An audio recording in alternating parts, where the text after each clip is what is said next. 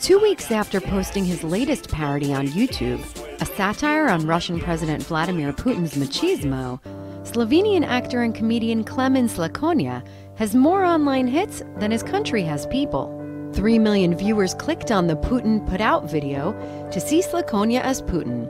He rides a horse bare chested, defeats a series of chess players, organizes Winter Olympic Games in 40 degrees, tranquilizes a tiger, and dances in ballet style tights with a prominent bulge. I want to connect people mm-hmm. so that the people who, who, who love it, who, who love the person I portray, love the video, and the people who hate the person I portray also love the video. So it's about connecting people.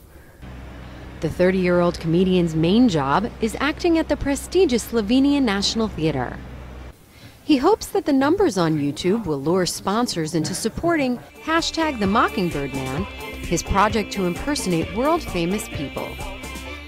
He's already done Pope Francis. Next up, U.S. presidential candidate Donald Trump and German Chancellor Angela Merkel.